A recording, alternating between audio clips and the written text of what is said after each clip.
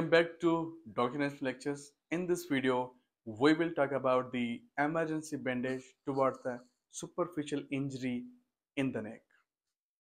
So first of all, we will put the gauze or cotton towards the injured area of the neck and ask a patient to lift arm like this.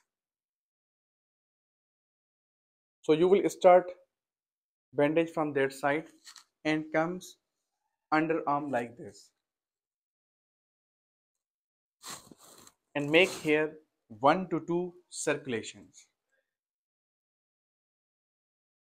1 to 2 circulations. After that fix it is from the posterior side and ask patient to move arm downside.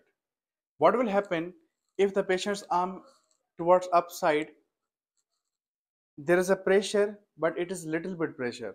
When arms comes downside what will happen? The pressure is being increased towards that side and there will be not any chances for the bleeding towards that injured area. Thank you